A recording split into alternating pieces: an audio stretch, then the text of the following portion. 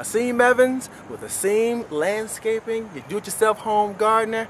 Hey, I want to help all you young guys out there right now trying to earn some extra money. This is where you can do it. Push that lawnmower. Got a nice yard, nice sized yard here. You know, it's got some debris and things out there, but that's not really concern. Really, you want to learn how to cut right now. Cutting yard, you got to have the proper utensil. Don't try and get something that you don't know is not going to work or whatnot. Get a nice mower. Really want to get one you can adjust that has the adjustable height settings from one to five inches. You also want to get one that possibly has a mulching blade. They cut a little bit better, a little bit more even. But in cutting, you want to adjust to the correct height. Check out your terrain. Look at what you're cutting. You want to, even if you don't know the types of grasses, you want to go out, look at your grass, and make sure that you're going to at least bring it down an inch to two inches. So what we have right here now, we've got something growing close to about four inches. So we want to bring it down to about three, three and a half inches. Right now, got, got the mower set for three inches. What we're gonna do, fire up the mower. Now here's a cutting procedure that everybody should know. Usually, typically, a lot of landscapers already know, you're gonna make two passes around your perimeter, then you're gonna start doing lines left to right. Some people don't have self-propelled, and some people have self-propelled mowers where they can't pull them back. A lot of them now have reverse, but you want to do your lines left to right, or as they say, north, south, east, and west. Trying to keep everything uniform. But, like I said, a simple type of format, do two passes, go around your perimeter twice, then start your north, south, east, west straight line.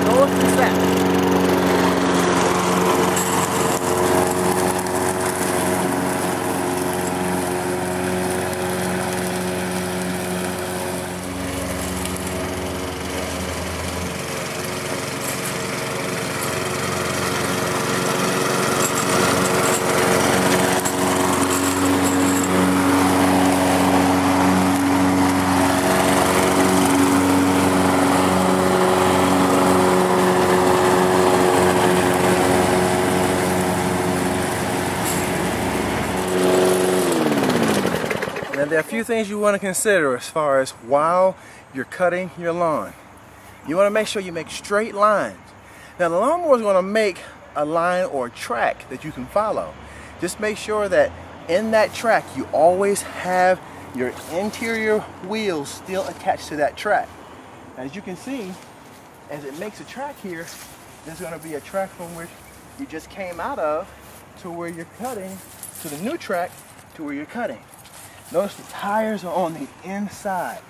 Overlap. Make sure that as they stay inside, that means that you're cutting all the grass. You won't have little lines showing where you didn't cut. You always want to show lines where you did cut. No extra work involved.